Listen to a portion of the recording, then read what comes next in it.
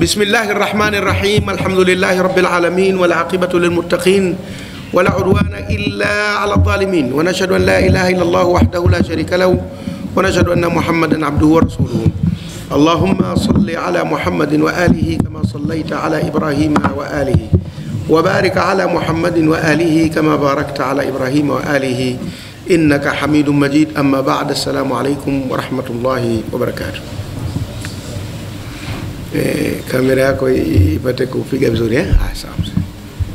Una, Una- una- aya kitabu tunachokwenda nacho taisiru mustalahi alhadithi cha doktor mahmud tahan uwepesishaji wa istilahi za hadithi za mtume muhammad saa salam kilichoandikwa na dr mahmud tahan na leo kwa kitabu hichi kikubwa cha gamba jeusi tuko ukurasa 110 kwa vitabu vingine tunaweza kuwa na kurasa tofauti kidogo lakini somo tunalokwenda nalo almazidu fi mutasili lasanid almazidu fi mutasili lasanidi kilichoongezwa katika iliyoungana milolongo. Nini unatabasamu tumekosea kitu? Kifikiri unataka kutanabahi na jambo. Umefurahi tu? Ah, sasa furaha nyingine zinakuwa hazina sababu. Haya haina. Eh, almazidu fi mutasili lasanidi eh? Kilichoongezwa au nyongeza katika iliyoungana milolongo? Kwamba mlolongo umeungana kila mtu kasikia kwa mtu aliyekutana naye lakini iko nyongeza imejitokeza katika mlolongo huu kwenye mlolongo mwingine nyongeza hiyo haijajitokeza. Wanaihukumu vipi nyongeza namna hiyo? Wacha tuone. Lughatan katika lugha ya kiarabu taarifu utambulisho wake. Katika lugha ya kiarabu almazidu ismu mafulu min ziyada, ni jina la mtendo kutokana na ziada yani nyongeza. Na ziada kwa sisi ni jina la mwanamke. Walmuttasilu dhiddu lmunqati na kilichoungana ni kinyume cha kilichokatika. Walasanidu na milolongo jamu isnad wingi wa neno mlolongo au misururu. Istilahan katika mapatano ya fani hii wakisema hivyo wanakusudia ziada turawin fi athnai sanadin dhahiruhu litisal. Ziada turawin kuongezeka kwa mpokezi fi athnai sanadi katikati ya mlolongo dhahiruhu litisali dhahiri yake kwamba mlolongo ule umeungana hata kama yule aliyeongezeka asingekuwemo mambo yangekuwa yamekwenda sawa sawa mithaluhu mfano wake ni hili lifuatalo marawa ibnu lmubarak alichokipokea ibnu lmubarak qala kasema hadathana sufyanu an abdirahman bin yazid حدثني بسر ابن عبيد الله قال سمعت أبا إدريس قال سمعت واثلة يقول سمعت أبا مرثد يقول سمعت رسول الله صلى الله عليه وسلم يقول لا تجلسوا على القبور ولا تصلوا إليها. حديثه رواه مسلم كتك كتاب الجنائز جزء يا سابا وكراسة ثلاثين نانة الترمذي جزء يا تاتو وكراسة مئة تاتو نستين يا كلاهما بزيادة أبي إدريس mapokezi yote mawili ya bukhari ya muslim na yule tirmidhi ameongezwa bwana abi idrisa wa hadhfiha na wakati mwingine ameondolewa bwana abi idrisa hadithi hii mithalu mfano wake marawa alichokipokea ibnul mubarak qala kasema kasema ibnul mubarak hadathana katusimulia mtu anaitwa sufyan an naye kapata habari kutoka kwa abdurrahman bin yazid naye kasema hadathani kanisimulia bwana busru bnu ubaidillah huyu busru ni sahaba. Ah, ni katika, katika matabina. Au matabi tabina. Bado hatujafika. Qala kasema sami'tu aba idrisa.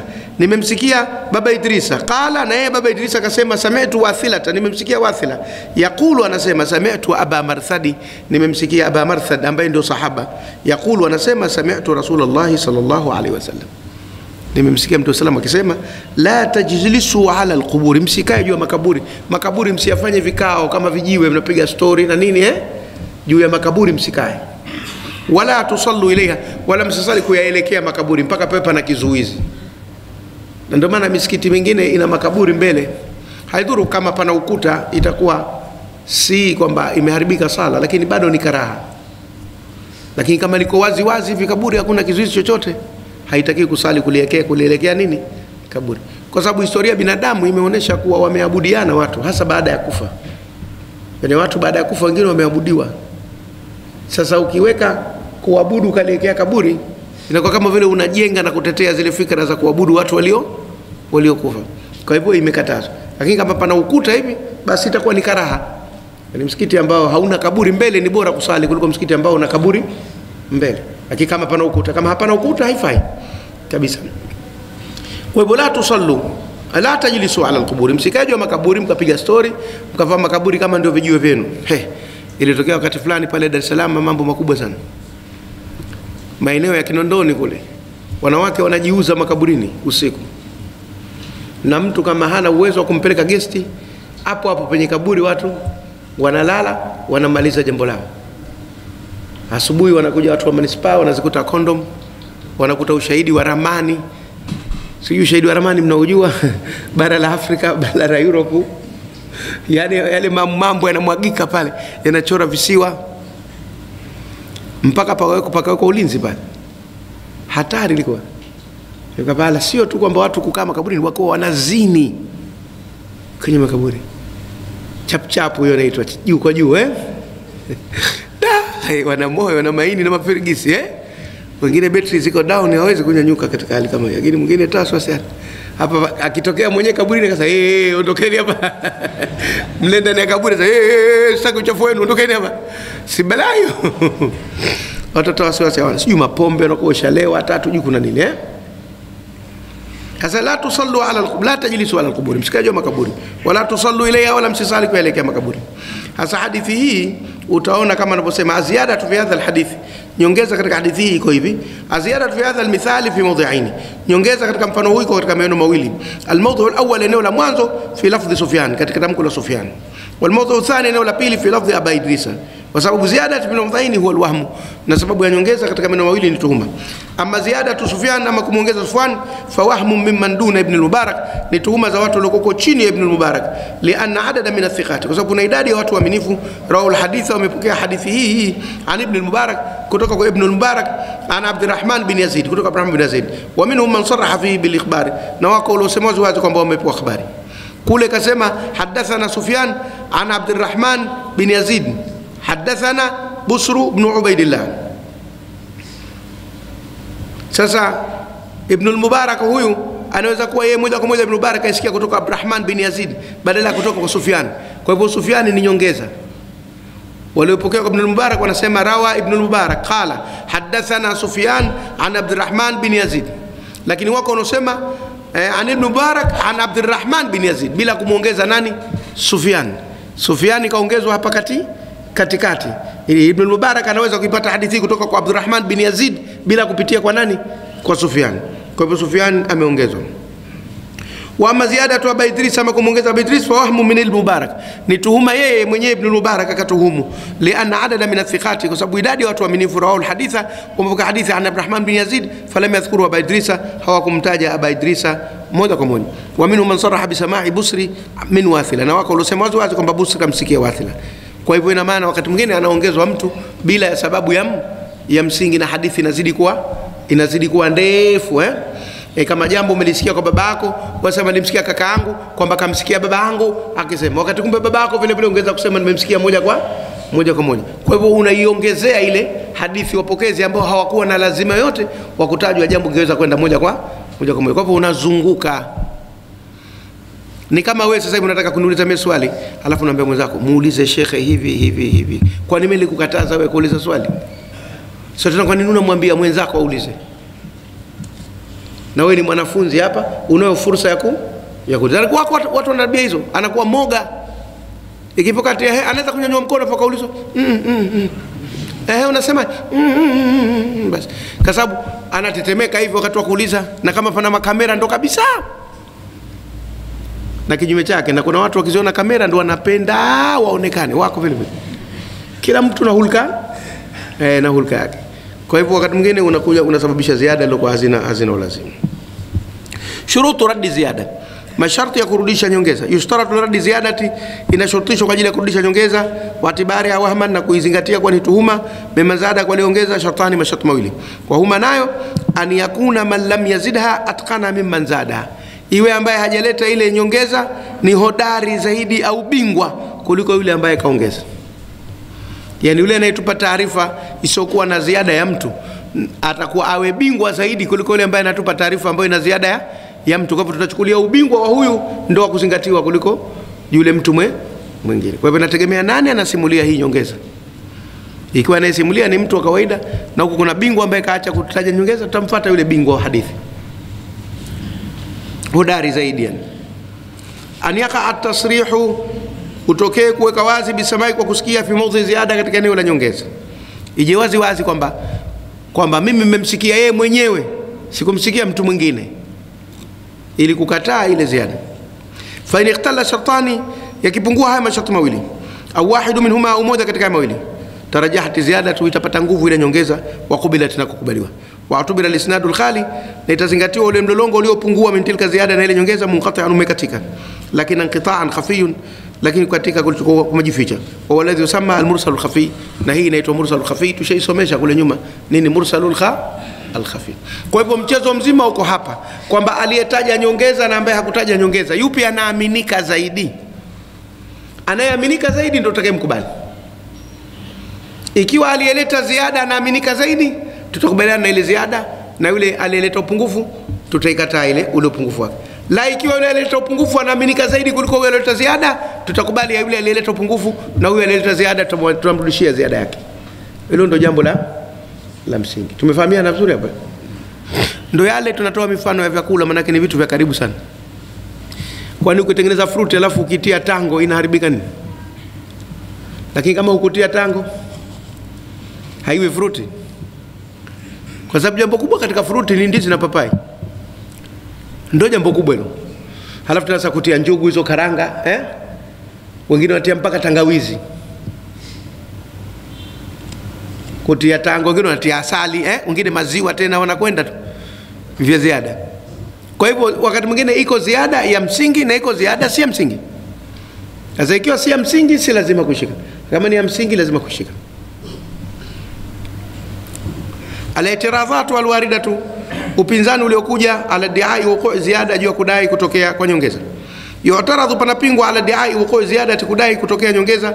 Bitiradhaini, kwa mapinzani mawili, huma nayo ni haya inkana lisnadu lkhali an ziyadati biharfi, ikiwa mlolongo ulioepukana na ziada umetumia herufi ya an fi mawdhi ziyada, pale panyongeza fambaghi an yujala munqati'an inatakiwa ifanywe imekatika, kwa sababu anayetumia neno an kutoka kwa hasemi kanisimulia fulani, nimemsikia fulani, kanaambia fulani, asema kutoka kwa fulani. Kutoka kwa fulani inawezekana kabisa si moja kwa kwa moja. Ni kama mtu kukuletea bahasha na pesa, kwamba hizi zimetoka kwa mtu fulani, zimetoka kwa mtu fulani, pengine alitoa milioni zikakatwa huko, umeletwa laki moja, ambao zimetoka kwa fulani, na zimetoka kweli zile laki moja lakini huko zilikotoka zilitoka milioni mpaka zinafika kwako ni laki ile kutoka kwa.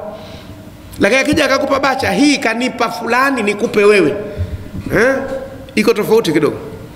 Sasa pale manake anaonyesha kuwa kwa uaminifu kabisa akapewa na yeye anaku anakupa. Kwa vile kutoka kwa haijaonyesha uhakika sana wa jambo kuliko ile hadathani, akhbarani, ambaani kanijuvya kanihadithia kanisimulia qala li kanambia sami'tu nimemsikia. Hizi zina nguvu kuliko zile kutoka kwa. Ile an haina nguvu kubwa kuliko haya mengine yote. Kwa hivyo kitumika an lazima utizame vizuri. He hatari. Hiyo ni mojawapo eh?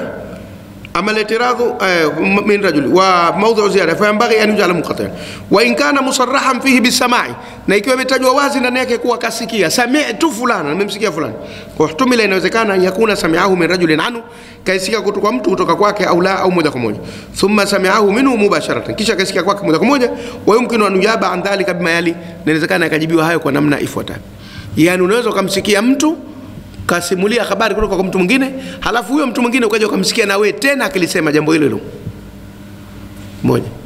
Ni kama mfano eh, wewe umeambiwa shekh fulani kasema jambo fulani na mtu kaka, halafu siku moja ukahudhuria darasa yake akalisema tena, ikawa lile jambo mwanzo uliripoti kwa kumsikia mtu, lakini mara ya pili unaliripoti kwa kumsikia mwenyewe. Sasa nayo hiyo ina mashaka yake. Ukisema kutoka kwa kutoka kwa au mmemsikia fulani kasema, namna gani unaripoti?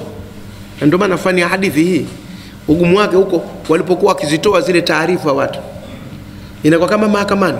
Ukifika mahakamani, ukiwa we ni shahidi au unatoa maelezo yako, lazima useme kile kile ulichokiona. huyu Eh, huyu bwana na huyu bibi wamezini. Ehe, wamezini vipi? Liwakuta kule mayugwani chini kwa chini, wameinama alafu wakaibuka. Sasa kama wameinama alafu wakaibuka, we sema ulichokiona, usiseme wamezini, sema nimewakuta maugwani wameinama alafu wameinuka, ndio ulichokiona. Vinginevyo utajiletea matatizo katika sheria. Sheria inataka usimulie kile unachoweza kujitetea kuwa umekiona, umekishuhudia au umekisi umekisikia. Nilisikia kishindo nyuma basi sikujua kama ilikuwa ni bomu au bunduki na kusema nilisikia sauti ya bomu huko nyuma. Eh, we ni mwanajeshi, unayajua mabomu yanavulia? Sema ulichokisikia, sema ulichokiona, sema ulichokishuhudia. Nilisikia harufu mbaya inatokea upande huko. Sasa sijui kama mtu alikuwa anakunya au ulikuwa ni mti tu mavimavi umesagwa, umefahamu? Au lilikuwa shuzi tu hilo la mtu aliokula maharage. Useme kile ambacho wewe umekipata katika hisia zako, ndo taaluma inavyotaka. Tumefahamiana? Taaluma inataka hivyo, sio haya maneno yetu ya mtaani, unatafsiri una tu unatafsiri tu. Ah, elimu inataka useme kile ulichokishuhudia, kile ulichokisikia, ulichokiona, ulichokigusa na mambo kama haya. Kwa hivyo ukikosea kidogo unatata haya. Thumma samiahu mubashara wa an yujaba an dhalika, inawezekana yakajibiwa hayo bima yali, kwa mambo yafuatayo. Ama al-i'tiradhu al-awwal, ama upinzani wa kwanza, fa huwa kama qala al-mu'tarif, tunakubaliana naye kama alivyosema mpinzani wama al-i'tiradhu thani, ama upinzani wa pili, fal-ihtimal al-madhkuru fihi mumkin, uwezekano uliotajwa ndani yake unawezekana, lakini al-ulama la yahkumuna ala ziyadati, lakini wanazuoni hawahukumi nyongeza bianaha wahmu, kwamba ni tuhuma, illa ma qarinatin tadullu alayhi, mpaka pana dalili inaonyesha kwa hii ni nyongeza. Kwa kukadiria kadiria tu, huenda ikawa nyongeza, haitoshi mpaka ukadi uweze kuwa na dalili itakao kuthibiti. Mfano, wewe mshahara wako unalipwa laki moja alafu mwezi huo ukapewa laki moja na elfu ishirini kwa hivyo dalili yako ni kwamba miaka yote hiyo nikipewa mshahara laki moja kwa hivyo sasa itakuwa mshahara umeongezeka, au bosi leo kacheka tukafurahi kaongeza elfu ishirini uwe na hoja kwamba hii ziada imekuja baada ya kuwepo kile kitu kilichokamilika. Kwa hivyo kama hakuna hoja, huwezi kuhukumu kwamba hadithi hii ina ziada au haina haina ziada. Asharu musannafati fi mashuhuri vilivyotungwa katika somo hili, ukitaka kwenda kwa urefu na kulifahamu na nimekwambia ni hii mustalahul hadithi, kazi yake kudokeza dokeza wewe kwa upana kidogo mambo, lakini ukitaka kubobea lazima urudi kwenye vitabu vikubwa vikubwa vikubwa ukabobea, lakini kwa kudokezwa tu, angalau ukisoma mambo hivi ukiyasikia, unaweza kuyafahamu, inakusaidia. Sasa asharu musannafati mashuhuri vilivyotungwa katika jambo hili la ziada kitabu kuna kitabu kinaitwa Tamyizul Mazidi fi Muttasil Asanidi, kuitofautisha nyongeza katika iliyoungana milolongo lil Khatib al-Baghdadi. Cha bwana al-Khatib al-Baghdadi. Hichi kitakusaidia wewe kufahamu zaidi ili somo. Al-Muttarib, Al-Muttarib, hadithi yenye kugongana. Lakini naona kaweka shada kwenye te hapa, vita vidogo katulika, kaweka shada kwenye te heading tizameni, vitabu vidogo kaweka shada kwenye te eh, vitabu vidogo, sio hichi kitabu kikubwa. Mwenye kitabu kidogo nani kaweka? Muttarib, muttarib. Haya, hadithi almuttarib, hadithi yenye kugongana. Taarifu, utambulisho wake. Wako wanaotamka kwa wepesi tu almuttarib, eh, almuttarib, almuttarib ndo anavyotaka yeye utamke hadithul muttarib muttarib ukaze muttarib kwa hii shada loweka eh? Uh, ukiondoa sema muttarib unaifanya nyepesi tu, na wengi tunatamka muttarib kwa wepesi eh? Lakini muttarib anataka yeye lazima ukaze ukaze. Hadithi yenye kugongana, hadithi yenye kugo yenye mgongano ndani yake. Taarifu, utambulisho wake lughatan katika lugha ya Kiarabu huwa ismu fa'il min al-ittirabi, ni jina la mtenda kutokana na kugongana, wa ikhtilalu al-amri wa fasadi nidhami, nako ni kupungua jambo na kuharibika mfumo wake. Ikhtilalu al-amri, kupungua jambo, wa fasadu nidhami, na kuharibika mfumo mfumo wake. Wa asluhu, na asili yake min itirabi al-mawji, ni kutokana na kupigana au kugongana kwa mawimbi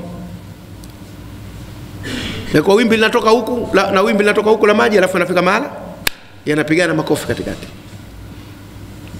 idha kathurat harakatuhu, zitakapokuwa nyingi harakati zake, wadharaba ba'duhu ba'dha, na akapigana baadhi yake kwa baadhi yake yakagongana, ndio ittirab. Istilahan, katika mapatano ya fani hii ya hadithi hadithi mutarib maruya ala aujuhin mukhtalifa ni ile iliyopokewa katika namna tofauti mutasawiyatin fil quwa lakini ziko sawasawa kwenye nguvu.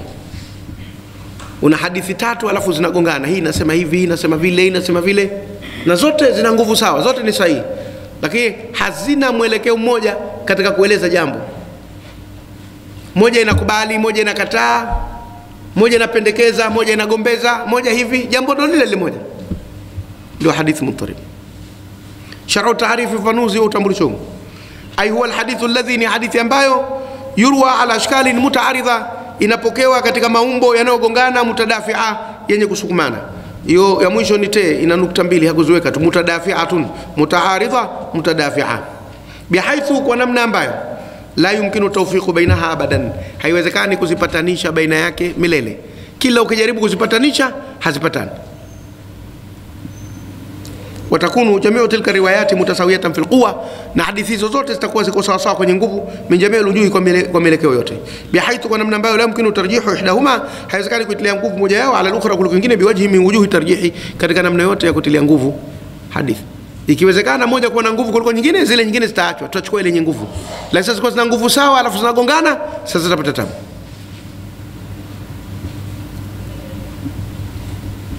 Ndio yale wakati mwingine wazee wanakasirika, kakaa ukumbini siku hiyo, saki mtu hapa, tokeni, tokeni, tokeni, watoto korofi, sitaki mtu mesaizi. Anakaa, alafu baada ya dakika tano, Salom, njoo kanunulie kahawa. Ah, sasa sasa huyu baba naye kashachanganyikia. Ndio baba yangu mimi zamani akikasirika anatufukuza sote pale ukumbini. Toka, toka, toka, sitaki mtu. Kashapandisha mapresha yake. Anakaa kwenye kiti kile chake cha kitambaa kile cha hivi. Kafungua na Radio National lile. Anasikiliza. Eh, Wewe wa awali ni wangu wazi. Mara nakumbuka sigara zimemwishia, kahawa imemwishia. Salam! Salam! Na mimi nimekaa barazani. Mm, baba huyo anaita. Sikatufukuza huyo. Ah, itakuwa nataka sigara, nataka kahawa. Sasa kisha tuliza munga. Na kwenda namba namba. Hai, shika kanulie kahawa na sigara zangu za nyota. Simwambii si umenifukuza wewe? Ah, ah, simsuti. Mzee anatakiwa azisute. Sasa mutaribu kesha gongana kule alitufukuza, sasa anatuita. Umefahamu eh? Ndio hiyo sasa, kitu kile kile kimoja, mara anabadilika hivi, mara anabadilika hivi, na inatokea hiyo kwa watu, na wakati mwingine utu uzima unakuja au matafrani, wanakuwa hivyo watu wakati mwingine, hasa wakishaingia kwenye utu uzima. Kwa hivyo unatakiwa kidogo uvumilie eh? Eh, mapresha wakati mwingine hana pesa siku hiyo, mambo mkalia vibaya eh? anakuwa namna hiyo. Kwa hivyo umzoee tu, unamlea na wewe vile vile kama alivyokulea wewe. Haya, shurutu tahaqquq al-ittirab, masharti ya kuhakikisha mgongano huo upo. Yatabayanu min an-nadhari, inabainika katika kutazama fi taarifi al-muttarib muttarib katika hadithi ya kugongana wa sharhi na sharia yake, annahu la yusamma alhadithu muttariban, hadithi haitwi muttarib illa idha tahaqqaqa fi shartani, mpaka afanikiwe ndani yake masharti mawili, wa huma nayo ni haya yafuatayo: ikhtilafu riwayat alhadith, kutofautiana kwa mapokezi ya hadithi, bihaithu la yumkinu aljamu bainaha, kwa namna ambayo huwezi kuzipatanisha zote zikafanya kazi kwa wakati mmoja. Na tasawi riwayati fil quwa, kuwa sawa sawa katika mapokezi yote kwenye nguvu, bihaithu, kwa namna ambayo la yumkinu tarjihu rawiyati riwayatin ala ukhra, haiwezekani kuipa nguvu riwaya moja ya nyingine. Ama idha tarajahat ihda riwayat, ama ikipata nguvu moja ya mapokezi ala ukhra kuliko nyingine, au amkana aljamu bainaha, au ikawezekana kuzipatanisha baina yake bishakli maqbulin, kwa namna inayokubalika, fa ina sifata litirabi, basi sifa kuongana tazuli itaondoka anil hadithi, katika hadithi hiyo. Wa naamalu biriwayati rajihati, tutaifanya kazi ile riwaya au yale mapokezi yenye nguvu, fi halati tarjihi, katika hali ya kuyapa nguvu, au naamalu bijamii riwayati, au tutazifanya kazi riwaya zote, fi halati imkani aljam'i bainaha, katika hali ya kuweza kuzipatanisha baina baina yake. Kwa hivyo cha kufanya ama tuzipatanishe zote, zikipatana tutazifanya kazi zote, hazikupatana tutatazama ile yenye nguvu, tutaifanyia kazi yenye nguvu, isiokuwa na nguvu tutafanyaje? Tutaiacha. Moja ya nguvu ni ile iliyokuja mwisho, ndio kama ule mfano nilokuambia, mzee kakufukuzeni, halafu anakuita. Amri ya mwisho, kakuita. Amri ya mwanzo kakufukuza, na jeshi linasema obey the last order, tekeleza amri ya mwisho, sio ya mwanzo, kwa sababu amri ya mwisho inaifuta amri ya ya mwanzo. Kwa hivyo mwanzo alikufukuza alafu akakuita, basi mfate, kwa sababu ile ya kukuita ndio ya mwisho. Lakini kama alikuita alafu akakufukuza, ondoka, kwa sababu kufukuzwa ndio amri ya, ya mwisho. Obey the last order, itii amri ya mwisho. Tumefahamiana mpaka haya. Aksamu, vigawanyo vyake yankasimu ltarib bihaithu mawqi litirabi inagawanyika hadithi yenye kugongana kwa namna ya eneo la kugongana yenyewe fihi ndani yake ila kismaini katika vigawanyo vile. Mutaribu sanadi wa mutaribu matni iliyogongana mlolongo na iliyogongana dondoo. Wa uqulu tirabi fi sanadi akthar na kutokea mgongano katika mlolongo ndio mara nyingi kuliko kwenye dondoo. Mithalu uh, mutaribu sanadi iliyogongana kwenye mlolongo. Wa mithalu na mfano wake hadithu abi bakrin. Hadithi ya abi bakr radhiallahu anhu annahu qala kwamba ikasema ya rasulallahi e mjumbe mwenyezi mungu araka shibta naona umezeeka umefanya mvi unajua mtume saa salam na abubakar walikuwa marafiki. Kuna mengine wakizungumza wanazungumza kama mtu na rafiki yake. Hawazungumzi kama mtu na mfuasi na mfuasi wake. Na wanatofautiana kidogo wanazuoni wa historia kwamba nani mkubwa. Kwa umri wako unasema abubakar mkubwa kidogo kuliko mtume na wakosema mtume mkubwa kidogo kuliko abubakar. Lakini kauli yenye nguvu ni kwamba mtume mkubwa kidogo kuliko abubakar kama kwa miaka miwili hivi. Lakini ni rafiki yake. Hasa abubakar akamwambia araka shibta naona umezeeka yani umefanya mvi ah, bila shaka yote Abubakari ni mtu tajiri mwenye maraha na nini eh? mtume salam ni mtu mwenye majukumu ya kuongoza watu kila siku anatatua kesi na migogoro hataacha kufanya mvi sio kama sisi hapa mi na mvi ana si saizi yangu hizi za miaka 60 mimi hata sijafika huko tayari na mvi za miaka 60 kwa sababu kila wakati nashughulikia mambo ya watu eh? kusoma vitabu kujibu maswali kufanya hivi kufikiri eh? watu wengine wamejirani sasa hivi wanacheza zumna wengine wanafurahi tu wanacheka wamefurahi. Mimi sasa hivi niko hapa serious nafundisha watu. Kila siku niko nitaacha kufanya mamvi na mapengo atatoka mapema tu. Haraka shipta. Nimekuona umefanya mvi yani umezeeka. Qala mtume sala akasema shayyabatni kilichonizeesha au kunitia mvi ni hudun wa akhawatuha suratu hudi na dada zake. Rawahu tirmidhi kitabu tafsiri. Tafsiri suratul waqi'a mpaka mwisho mwisho. Hud wa akhawatuha suratu hudi na dada zake au na sura nyingine. Ziko sura mtume salam alikuwa akizitafakari zinamuumiza kichwa. Moja ni suratu hudi sura ambayo inataja manabii wengi waliotangulia jinsi walivyokwenda kwa watu wao walivyopingwa yaliyotokea. Sasa naye anaangalia watu wangu mtakwenda nao vipi? Matokeo yangu yatakuwa vipi? Analinganisha nabii nuhu ilikuwa hivi nabii hudi ilikuwa hivi nabii saleh ilikuwa hivi nabii ibrahim ilikuwa hivi zakaria yahya ilikuwa hivi sijui nani ilikuwa hivi. Na mimi itakuwa vipi? Kwa hivyo yumo kwenye kutafakari akizifanyia kazi zile sura na ziko nyingine kama hiyo arafu nayo vile vile ilikuwa kimuumiza kichwa sisi ha tunasoma Qurani wala itumizi kichwa. Ninasoma Qurani watu wengine wengine watu ndio wanacheua so, So, eh? Yeye ilikuwa ikamuumiza, yauza kichwa mpaka imemsababishia mvi. Mimi na mari kwama tushaonekana wazee na mamvi kwenye madevu haya. Hizi albahari bado anaonekana kijana. Weki kitu. Sina kitu, sina mvi. We mkubwa bwana, unakaribia kutuzaa wewe. Haya bwana, mvi si uzee, mvi ni mambo. Araka shipta, na kuona umezeeka au umefanya mvi. Qala, asema sayabatni, kimenimtia mvi au kimenizeesha Hudu wa akhawatu wa Hudu na ndugu zake. Qala Daraqutni, kasema bwana Daraqutni, hadha muttarib, hadithi hii yenye kugongana, fa innahu lam yurwa illa min tariqi abi Ishaqa, kwa sababu imepatikana kwa njia ya abi Ishaqa peke yake. Waqad ikhtulifa alayhi na ametofautiwa huyu fihi ndani yake ala nahwi asharati aujuhin, kiasi cha mielekeo kumi. Faminhum marawahu mursala, wako walioipokea kwamba imerukwa hakutajwa sahaba. Wa minhum marawahu mausula, wako walioipokea imeunganishwa na sahaba huyo. Wa minhum majaalahu min musnad Abibakar, wako waliosema ni katika milolongo ya Abibakar. Wa minhum majaalahu min musnad Saadi, wako waliosema ni katika mlolongo wa Saadi.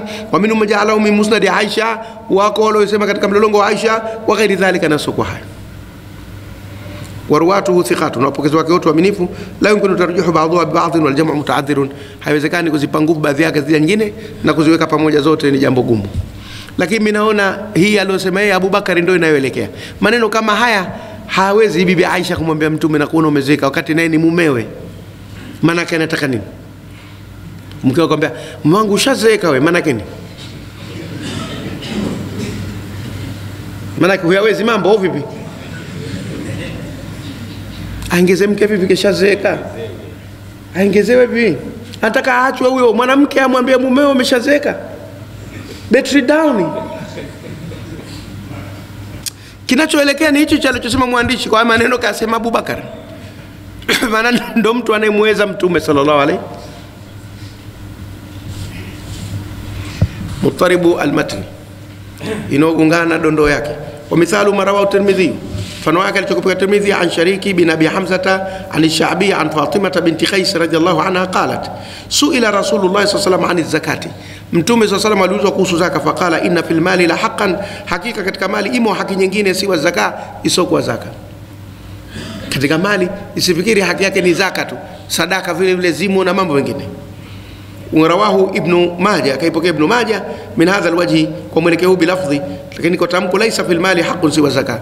Hakuna katika mali haki yoyote isipokuwa zaka. Ile ya mwanzo anasema inna fil mali la haqqan siwa zaka. Hakika katika mali kweli kuna haki isiyokuwa zaka. Hii ya pili laisa fil mali haqun siwa zaka. Katika mali hakuna haki yoyote isipokuwa zaka. Zinagongana zigongane ya mwanzo inakubali kuwepo haki nyingine isiyokuwa zaka. Ya pili inasema hakuna haki nyingine yote isipokuwa zaka qala al-iraqi fa hadha ittirabun. Basi huku ni kugongana la yahtamilu tawil.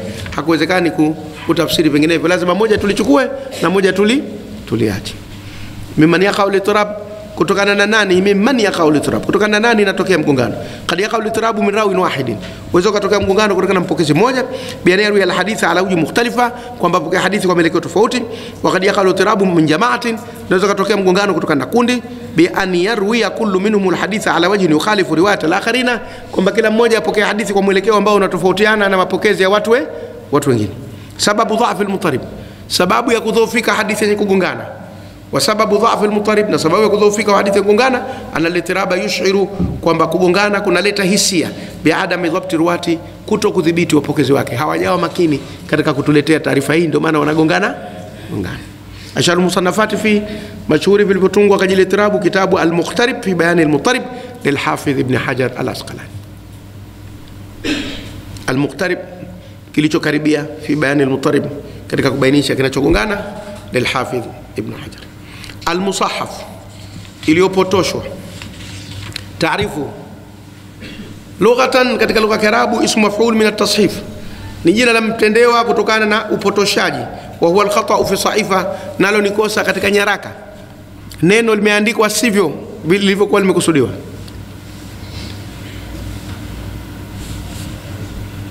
Kama mtu anaitwa mtumwene yule akaandika mtumeni jina lake mtumwene lakini walioandika kaandika mtumeni. Mwanamke anaitwa mashavu yule aliandika kaandika mashallah. Huyu ni mashavu sio mashallah eh? sasa huo ndo upoto upotoshaji. Maji Gambo akaandika maji ng'ambu au maji ng'ambo maji ng'ambo make kujisifu nani? Maji ng'ambo huko maji huko ng'ambo ya pili? Sio hapa kwa hivyo upotoshaji. Kwenye neno. Wa minhu akiwemo as-sahaf- wa huwa man yukhtiu fi qira'ati sahifa mtu ambaye anakosea kusoma nyaraka siku zote anadodosa anababisha babisha. hata katika Qurani vile vile wako watu anaikosea Qurani tangu huko anakusomeshwa chuoni mpaka utu uzimani mwake, kila siku yanakosea anakosea tu, na wako wengine maimamu hawezi kuswalisha mwezi mmoja bila kufanya makosa akisoma. Kukosea kunatokea kwa kila mtu, lakini hamalizi mwezi atafanya makosa, na wengine hamalizi wiki atasahau. Yani huo msikiti unaitwa masjidi sijidati sahwi, lazima yani katika ukisali wiki moja lazima mtakwenda sijidati sahwi. Anakuwa hayuko makini yule na ukimwambia bwana tupishe usiwe tena imamu. Lo lo lo lo lo, lo. mgogoro. Rizqu man tashau unataka kuiharibu eh?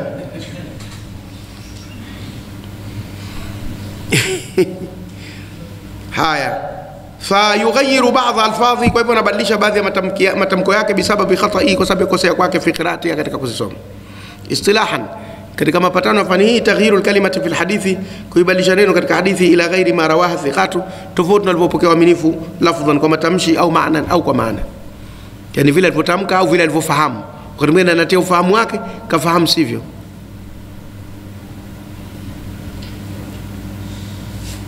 Ahamiyatuhu wa diqatuhu umuhimu wake na umakini wake. Huwa fannun jalilun dakhiqun, hii ni fani kubwa tena makini. Fani kubwa tena makini watakmunu na unajikita ahamiyatuhu umuhimu wake. Fi kashfi lakhtai katika kufichua makosa. Allati waqaa fiha wame- wameanguka ndani yake au wameingia ndani yake baadhi ruwati baadhi ya wapokezi wa inama yanhadhu na hakika anayenyanyuka biabai kwa mizigo hadhi muhimu ya jukumu hili alhudhaqu ni mahodari min alhufadhi katika waliohifadhi hadithi kadara qutni kama bwana dara qutni.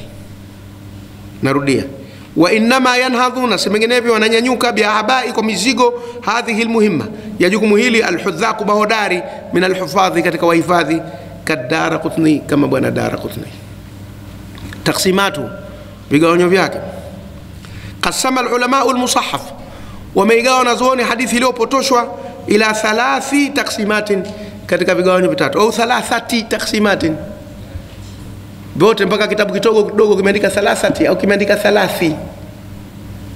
Haangalii huyu salasi salasati kwako kaandika.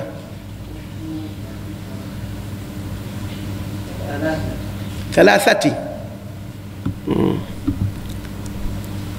haya.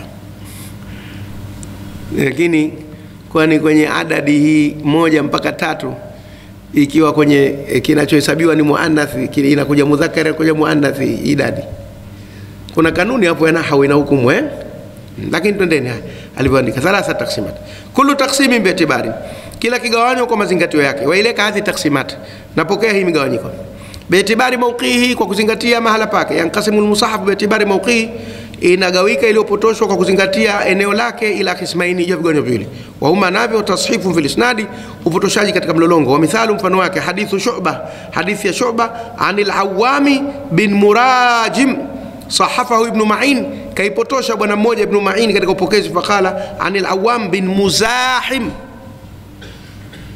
Yule mwenyewe anaitwa al awam bin mura murahim kwa re lakini wamepotosha jina lake wanasema al awam bin muza muzahim sasa mimi kama mfano naitwa salumu Msabaha, alafu mtu aseme salumu mshabaha.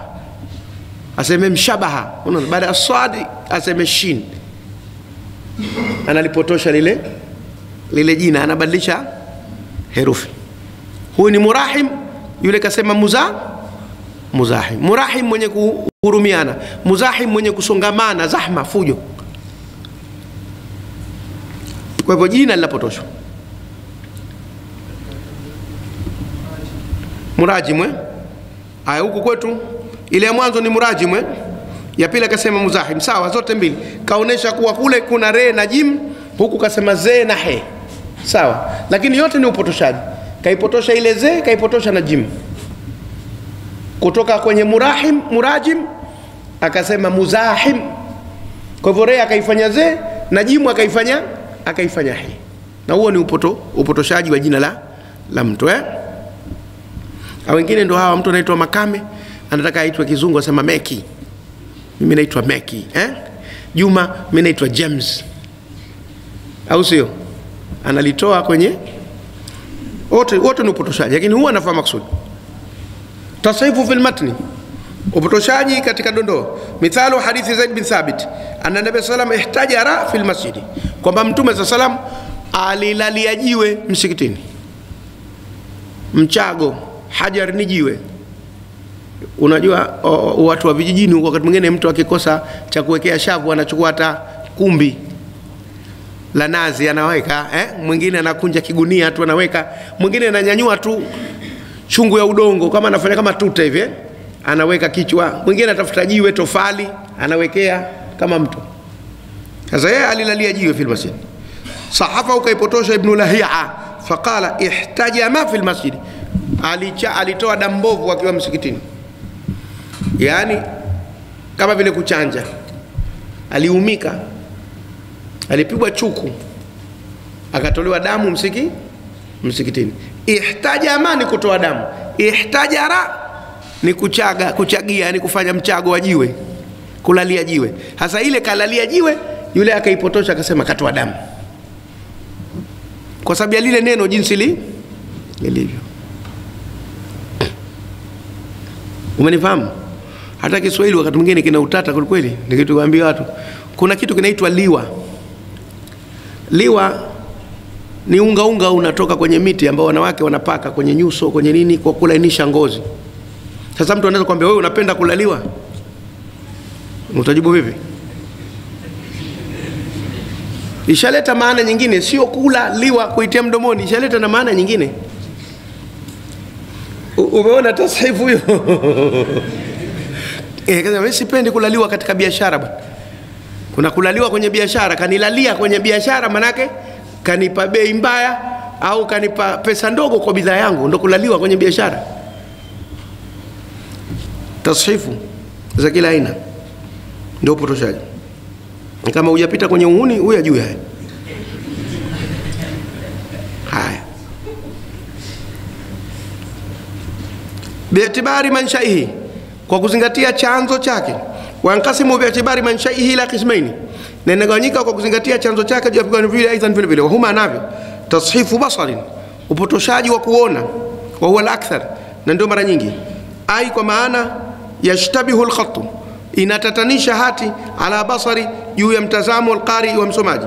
Imma liradaati lkhati, ama kwa ubaya wa khati au adami naqtihi au kwa sababu ya kutokulitia nukta lile neno kwa hivyo akalitamka vinginevyo.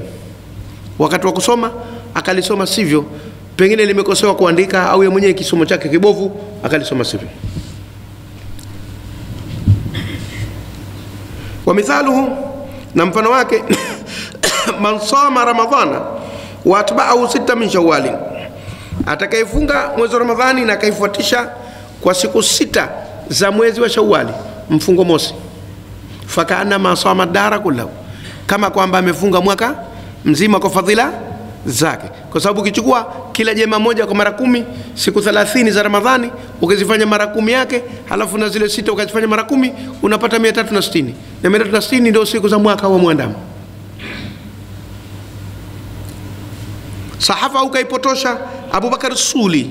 Faqala, akasema man sama ramadhana, atakayefunga Ramadhani wa atba'ahu shay'an min shawali, akaifuatisha kwa kitu hivi katika Shawali, ile sita akafanya shaia. Kwa hivyo itakuwa hata ukifunga siku moja. Fasahafahu sittan ila shaia, akaipotosha kutoka sita akaenda kwenye nini? Kwenye sharia. Na hivi tunadokeza, ingawa wengine hawatopenda wenzetu, lakini tunawaambia ndio tatizo la kitabu wanachoamini wale jamaa wengine. Qur'ani, Mwenyezi Mungu kaihifadhi, mambo haya hayakutokea kwenye Qur'ani. Ndio maana Qur'ani yetu ni authentic ya kuaminika kabisa kutoka kwa Jibril kwa Mtume alaihi mpaka kwetu sisi. Lakini hivi vitabu vingine walivyonavyo wenzetu vimepita katika mambo kama haya. Kwa hivyo imekuwa kuna maneno yamebadilika badilika mle, na kwa hivyo uhakika wake katika, katika mambo mengi unakuwa wa kutatanisha. Haya, tashifu sam'i, upotoshaji wa kusikia. Ai tashifun, kwa maana upotoshaji, manshauhu, chanzo chake, radaatu sam'i, ubaya wa kusikia, au bu'du sami'i, au kuwa mbali yule msikiaji. Zamani hakuna mikrofoni kama hizo kupata sauti, kwa hiyo inaweza kuwa nasema kwa sauti ndogo, afu kuna mtu uko kule anasikiliza mwisho, lakini hasikii vizuri, hayapati yale maneno nayo ya yasema. Na katika madarasa makubwa makubwa na mihadhara, wakati mwingine pia linatokea, unakuwa usikii vizuri kasema nini yule anayezungumza. Kwa hivyo nayo hiyo, au wakati mwingine na sisi wasemaji kuna watu tunatafuna maneno. Wako watu walikuwa na vigugumizi zamani, wakajitahidi vikaondoka. Sasa anaweza kusema alafu katikati akatafuna neno, basi ule mjukuu mkombe hujasikia wewe, tutaki mambo kama hayo baya kabisa. Eh, mbona kasema nini huyu? Eh, kuna maneno mengine anata anatafuna. Sasa wewe msikiaji hujakamata, eh, bwana kasema nini yule? Tumefahamiana na vile vile mbwembwe wakati mwingine za watu kutia lugha za kigeni basi actually juzi we met lakini hatu hatukukubaliana we didn't agree upon ah sasa huyu mara kasema Kiswahili mara katika Kiingereza humkamati unaanza kusukuma na kubahatisha tu. Ziko sababu nyingi sana za msikiaji kuwa asielewe anachosema msemaji anasema anasema nini. Kwa yote yanawezekana. Kwa hivyo anasema au nahwi dhalika, kwa mfano hayo. Fatashtabihu alayhi yanatatanisha kwake baadhi kalimati, baadhi ya maneno likauniha ala wazni sarfi wahidi, mengine katika uzani wa kisarufi mmoja. Kwa hivyo najiuliza hapa, kasema hivi kasema vile eh?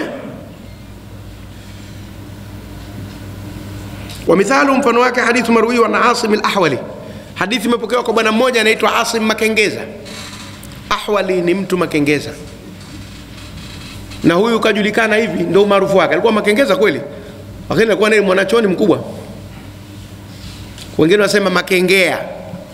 Wako katika lahaja wanasema makengea. Kisi tunasema makengeza? Asimul Ahwali, asim makengeza. Maarufu analo jina la babake lakini ule makengeza ndo maarufu umaarufu wake. Na si hapa tulikuwa tuna watu maarufu mwalimu mmoja anaitwa machomane. Unakumbuka unamjua mwalimu machomane? Huyu anamjua mwalimu machomane. Machomane lakini maanake ni kuvaa miwani tu ilikuwa zamani. Tu akivaa miwani anaambiwa macho manne. Maanake yale macho yake mawili na ile miwani macho ma Alafu anakuwa ndo umaarufu. Tangu anakasirika mpaka mwisho anaku anakubali eh? bonge nyanya tipwa tipwa. Kibuno eh, wako. Mengine ya kukera eh? domo kidevu. Mengine ya kukera. Mengine ya kawaida tu eh?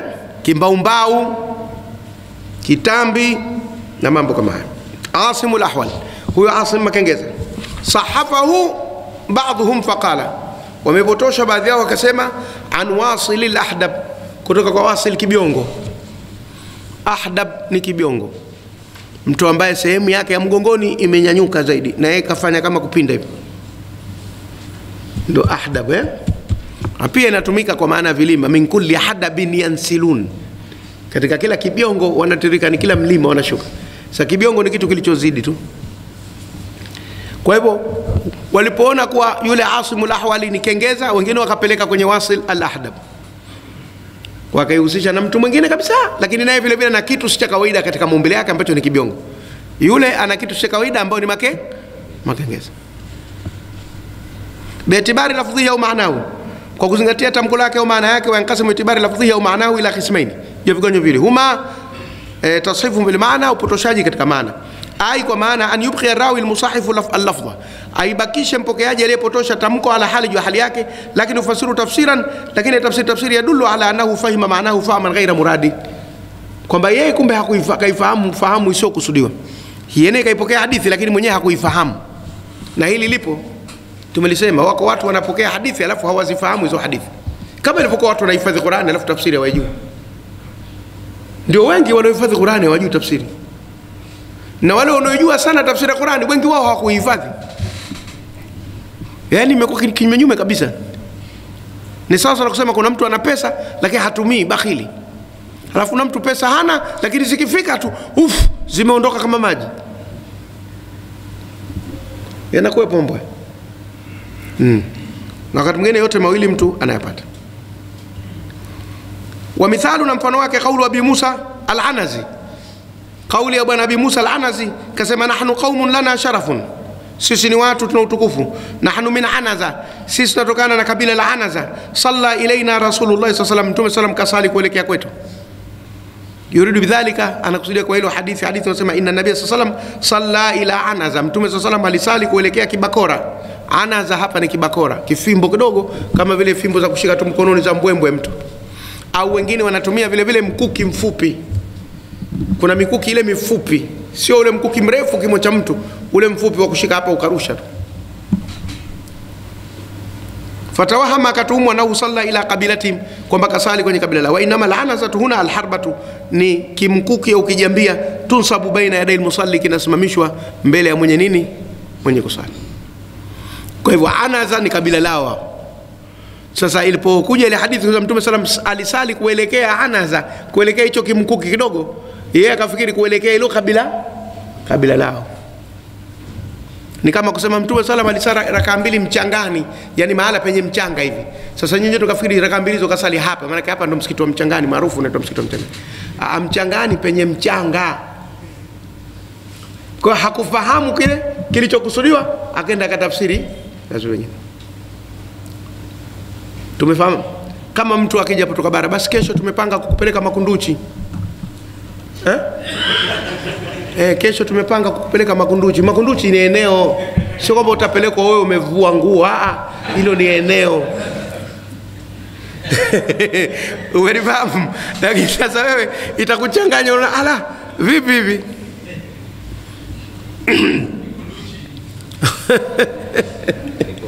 karipoti yupo haya bwana kwa hivyo upotoshaji kwa sababu hukufahamu ile maana iliyokusu kusudiwa tumeelewana eh? nayo inatokea katika fani ya hadithi. Taksimu lhafidh ibn hajar ugawanyi wa lhafidh ibn hajar. Hadha pamoja na haya niliyoyasema wakad kasama alhafidh ibn hajar tashifa na alhafidh ibn hajar amegawanya upotoshaji taksiman akhar mgawanyo mwingine. Fajaalahu qismaini akaufanya vigawanyo vili wahuma nao almusahafu wahuwa ma kana taghyiru fi binisbati ila naqti. Kilichopotoshwa kakiita musahaf nako ni kule ambako kumekuwa mabadiliko ndani yake kwa mlinganisho na nukta alhurufu herufi mabakai surat alkhati pamoja na kubakia sura ya hati yenyewe alafu akasema almuharraf wa huwa ma kana taghyiru fi nani ile ambayo mabadiliko yamekuwa ndani yake binisbati kwa mlinganisho ila shakli alhurufi jumbo la hurufi mabaka sura alkhati pamoja kubakia sura ya ile khati kwa hivyo akatofautisha ikiwa umetofautisha nukta na shakli itakuwa hivi ukitofautisha herufi itakuwa hivi kazita namna mbili. Hal yakdahu atasifu birawi je inamtia dosari upotoshaji yule mpokezi? Akiwa mpokezi kapokea hadithi imepotoshwa na yeye atakuwa kaingia dosari hafai idha sadara min arrawi ikitokana na mpokezi nadiran mara chache sio mara nyingi. Fainahu la yakdahu fi dhabtihi hakutilii dosari uhifadhi wake. Lianahu la yaslamu min alkhatai kwa sababu hasalimiki na makosa watasifi na upotoshaji alqalili ulio mdogo ahadu mtu yote sote sote tunakosea na sote tunaweza tukapotosha bila kukusu dia ikitokea mara chache kwamba hapa kasoma sivyo kakosea atasameki ndio wale nakwambieni ikiwa imamu wenu anakusalisheni vizuri lakini siku moja akakosea kasahau kabadilisha aya au kasahau kaacha kitu mkampiga tanbihi, basi hakumpotezei sifa za uimamu. Lakini kisha kuwe kila wiki mara moja lazima kupelekeni sijida tisawi, huyo hafai kuwa imamu, mwekeni pembeni. Tumeelewana? kwa sababu kukosea sote tunakosea, lakini kisha kwa makosa yamejenga tabia katika mwendo wa mtu, hilo sasa litakuwa tatizo kubwa. Waidha kasura dhalika na litakapokuwa mara nyingi jambo hilo minu kwake fainahu yakdahu itatia dosari fi dhabti wadullu ala khifati na itaonesha wepesi wake si mzito katika fani wanao laisa min ali hadha shani na kwamba si mtu wa jambo hili haiwezi fani hadithi ikiwa anakosea mara kwa na vile vile mtu katika hifdhi ikisha kuwa anakosea mara kwa mara atakuwa si mtu wa hifdhi na ikiwa anasahau mara kwa mara hana sifa za kuwa imam tena sasa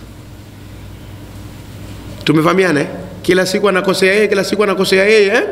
Na sisi kule mpirani vile sema huyu ikiwa kila mechi lazima akose goli huyo atolewe kwenye timu namba kikosi cha kwanza eh? Unakosa magoli wetu kila siku. Lakini natokea kuna siku game inamkataa mtu akakosa magoli mkaona ah huyu mfungaji mzuri kapoteza fursa. Ndio inatokea hiyo si binadamu. Lakini kila siku kazi yake kukosa tu huyo hafai Sababu fi wuqui rawi fi tasrifi alkathiri, sababu ya kuanguka mpokezi katika upotoshaji mwingi ni nini? Ghaliban ma yakunu, mara nyingi inakuwa sababu sababu fi wuqui rawi ya kuanguka mpokezi fi tasrifi katika upotoshaji huwa akh, huwa akhdhu alhadithi, na ni kuchukua hadithi mimbutuni alkutubi wa sufi, katika matumbo ya vitabu na nyaraka, yani anajisomea mwenyewe, hana mwalimu. Mara nyingi mtu wa hivi anakuwa anafanya makosa makubwa sana lazima asima asimamiwe. uwezi kukaa ukasema mimi nitajifundisha Qurani mwenyewe, naanza na alif bet the, utazisoma vipi? Yule yule kuanzisha alif bet ndo alokufikisha hapo ulipofika sasa. Mbona ABCD skuli kule hujaanza mwenyewe mpaka umekwenda ABCD EFG HIJK L M eh, umekwenda mpaka umefika, na huku lazima usimamiwe hasa ukajifanya wewe unakwenda kuchukua mwenyewe, huna mwalimu. Kiko kiwango mtu anaweza akafika mahala akaingia akaingia kwenye maktaba akasoma mwenyewe, kuna kiwango fulani, lakini kuna mambo mengine lazima usomeshwe. Sasa kujisomesha mwenyewe kunaweza kupelekea kwa sababu ya kukosea kosea namna hii, wa adamu talaqihi, na kuto kupokea kwake ani shuyukhi almudarrisina, kutoka mashekhi wafundishaji walidhalika kwa ajili hiyo hadhara la imma wametahadharisha imam min akhdhi alhadithi kuchukua hadithi aman hadha sha'nuhu kwa yule ambaye tabia yake ndio hiyo. Waqalu wakasema la yukhadhu alhadithu min sahafiyin isichukuliwe hadithi kwa mtu ambaye anajisomea mwenyewe tu.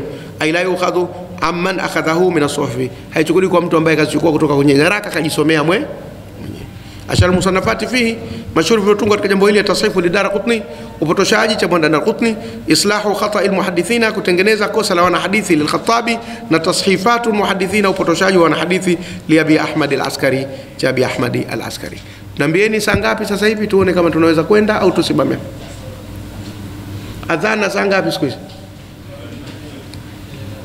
dakika ngapi? Basi tusubiri adhana, tujiandae na salatu lishai. Imetosha kwa leo. Wassalamu alaikum warahmatullahi wabarakatuh.